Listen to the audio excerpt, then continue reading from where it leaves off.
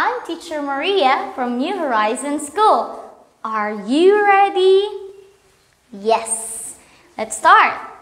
Circle, Hình tròn, triangle, hình tam giác, rectangle, hình chữ nhật, square, hình vuông, red, màu đỏ, blue, màu xanh da trời, yellow, màu vàng, green, màu xanh lá cây, I,